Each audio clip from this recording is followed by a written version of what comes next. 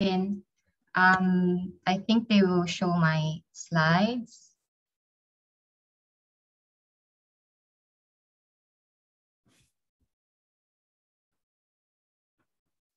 And you can just make it in presentation mode, I guess. Yeah, thank you. Yeah, you can, next slide. So thank you very much, and I'm happy to be here again to um, speak with you all and provide the key takeaways from this morning until just now that we finished the breakout sessions. And it's quite challenging to uh, try and incorporate everything in such a short time. Um, so I hope that I, I do justice and uh, apologies if uh, some of the points have not been captured, but I, I am trusting that this would, would cover most of it. So um, this morning, um, we, we learned basically the, the whole framework about a free, prior, and informed consent. It is an international standard protected by international human rights law in terms of all people's right to self-determination and participation in decision-making, particularly recognizing that which will affect uh, people's well-being. It is a right to process. And uh, as, uh, as Oxfam had also provided us with the, the framework and the definitions and the context for free, what is free, what is prior, what is informed, and what is consent. Um, key points around that would be that the, that the process is free from manipulation or co coercion. There's a process that uh, prior to the consultation and the engagement with communities, a prior process that would be within the um, community and also following their traditional uh, governance process. Uh, informed being that it is facilitative and there's a sharing of objectives that are accurate and easily um, understandable. And finally, it allows for the right to say no, um, to provide the yes or no to a particular project. Foremost, uh, another um, context or definition about FPIC is that foremost, it's a safeguard which has its origins according to the universal rights of indigenous peoples. And in recent years, it has become part of the social safeguards framework in climate change related agreements. In many cases, it's already captured in national policy and regular, regulatory frameworks. However, it still remains to be limited. Next slide, please. So where have we gained these takeaways? Uh, I think I may not have exhausted every everyone or mentioned everyone here, but uh, we we find the logos of all the organizations, including also companies um, that have presented earlier. And um, thank you for, for giving us uh, all these uh, examples of FPIC in practice. And we heard from uh, this morning from Oxfam in developing practical approaches to FPIC in the Mekong countries, the public-private partnership on REDD Plus in the coffee sector in Vietnam with Cafe REDD and the Burapha agroforestry case, and then there's several from the breakouts, examples and inputs from CSO presentations in context of conservation, protected management, and others. One of the um, major thing, uh, kind of the, the overarching message um, from this morning was that as big as possible to gain. Um, it is not a zero sum uh, game, that um, it's something that we, we cannot uh, avoid um, but uh, more so from Kim Lai, uh, it is important, particularly in the Mekong region where um, there are many, uh, there's a, a, a, significant proportion of indigenous and ethnic populations in the region from which, yeah, the, the origins of FPIC is really, is really uh, uh, in terms of responding and respecting their rights. Next slide, please. So um, okay, so um, I have five key takeaways. And the first one is that uh, FPIC could easily be seen as a challenging process, that it's costly and could be a bed of conflict and distrust. There's lack of clarity in laws and institutions to enforce FPIC, and this, uh, this lack of clarity may, co may contribute to this uh, conflict and, and distrust. But um, uh, there are also instances where many countries have national laws meant to ensure just processes of land transfer consistent with the requirement to obtain FPIC. But few have yet adopted national laws that explicitly mention FPIC as an obligation. But FPIC requires that communities can meaningfully participate in decision-making process and that their concerns, priorities, and preferences are accommodated in project designs, indicators, and outcomes. This may require more time at the start of a project, but we heard also from the speakers earlier that ultimately in the end, um, if this is taken up, uh, it could lead to avoidance of disputes over land and resources claims later on. And um, there was also an argument that cost of conflict could in fact be much more costly for uh, companies and therefore it's um, uh, better to, to be addressing this. And at the end of the day, it's also a good return on investment. Um, next uh, takeaway is that uh, as a process, consultations must be done in good faith and should be genuine among government, private sector, and communities. Some examples are already demonstrating this, and we can build from this. In the example of a public-private partnership on REDD Plus in the coffee sector in Vietnam, promoting deforestation-free coffee and sustainable coffee agroforestry models, we learned that uh, by using uh, community engagement and making that an ongoing process is quite important and is required. In fact, we even heard um, uh, one of the companies uh, mentioned that it's already ingrained in their DNA to actually be, be, be doing this. Um, this can provide opportunities to build more experience on the practical application of FPIC.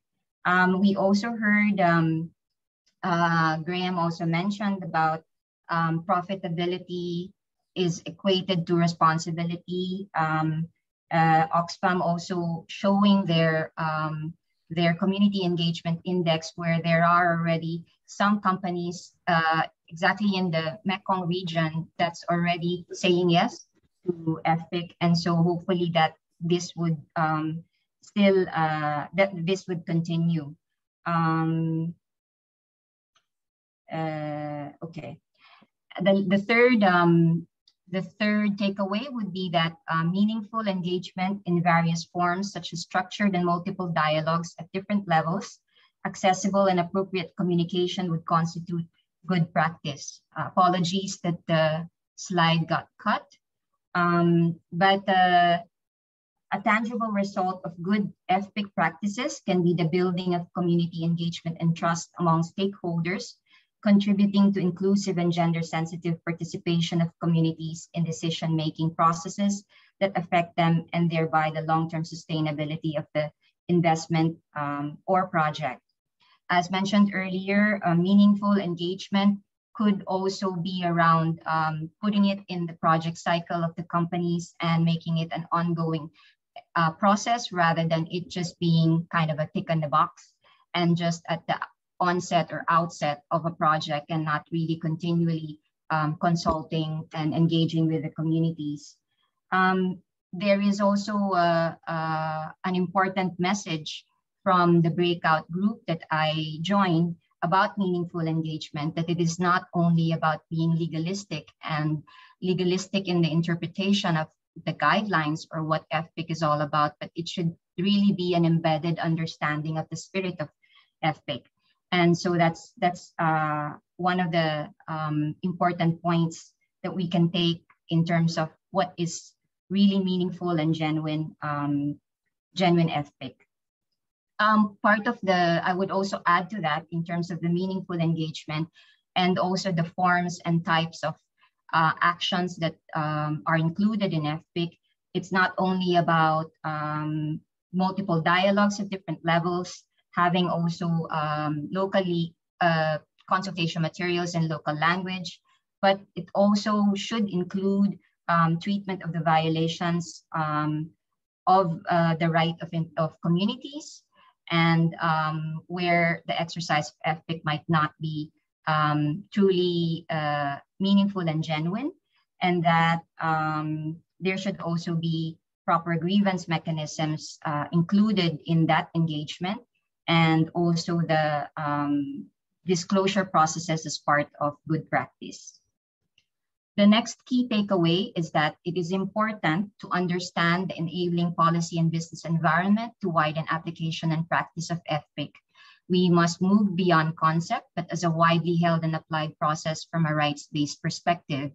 We've also heard in the um, breakout, uh, some of the breakout uh, sessions that there are already opportunities um, and entry points existing nationally and in ASEAN and uh, even the MRLG program itself could already be a facilitative uh, program for uh, widening and broadening the practice of, of FPIC.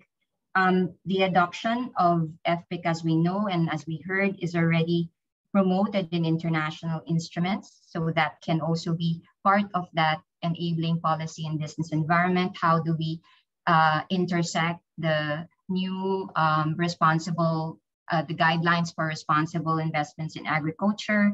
How do we also integrate the other frameworks like the UN SDGs, UNDRIP again, and also uh, the CBD and climate change frameworks. Um, the next, uh, the next key takeaway, um, hang on, uh, another part of that um, policy environment, uh, and this was mentioned in the, the breakout, this, that there are potential entry points within ASEAN to advocate for FPIC, and there are particular working groups that already exist that can be tapped. Um, it's also good, there's a quote here um, that I got that um, starting off at the ASEAN level would be quite good to break the ice and from where we can expand the, the understanding of the spirit of FPIC that beyond just the indigenous peoples, that it's for the good of all society. And um, ha uh, having this due process could also um, be encouraged nationally and that uh, there could be a shared roadmap that could be developed at the regional level um, few working groups that exist already that can be uh, good entry points would be the ASEAN Working Group on Social Forestry, the ASEAN Working Group on Agricultural Cooperatives, and also the ASEAN Commission on Human Rights. The last key takeaway is that CSO, indigenous peoples and local communities, ethnic and local communities still need to increase their capacity and knowledge and FPIC to better and strategically advocate and lobby for its full and effective implementation. They need a platform and safe space to raise and discuss experience and importance of FPIC and connect with other stakeholders such as the government and private sector to communicate the need for FPIC. Um, the, one of the um, other aspects to be included within that whole process of capacity building and knowledge building is um, possibly also the development of community protocols, um, conduct assessments on quality FPIC and make this information public. And um, essentially what we need to see is really having um, everyone in the process that's involved have to be at the um, equal level of capacity and knowledge and understanding about the process and more so also with the indigenous people, ethnic and local communities for them to also be able to um, build their ownership of the process and internalize their stake in it. Um, finally, the use of platforms and engagements, uh, as mentioned earlier, in terms of entry points, could still be used in the next couple of years. I'll leave you with a slide that um, Oxfam had shared with us, which gives also um, some very basic key points.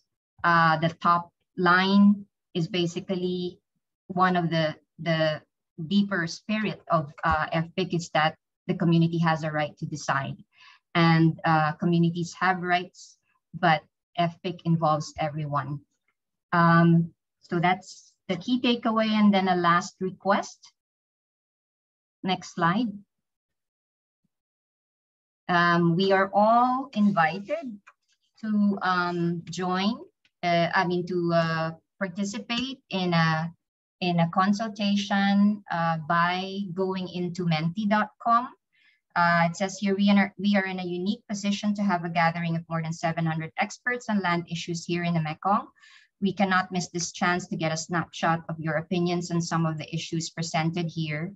There has been, uh, there will be two polls during the forum. One took place already yesterday and the other one is scheduled for today. So for today, uh, the we have here the code 741434222. Please